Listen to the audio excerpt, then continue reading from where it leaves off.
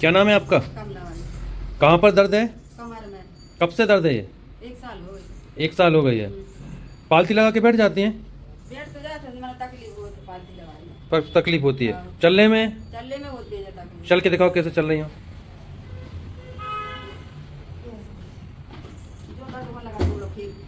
दर्द होने लगता है। चलो।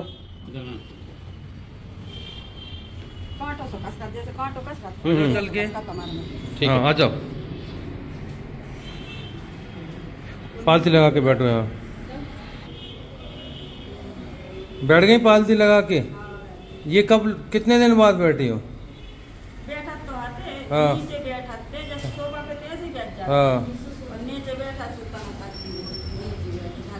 पहले पालती भी नहीं लग रही थी आपकी अच्छे से। दर्द होता था।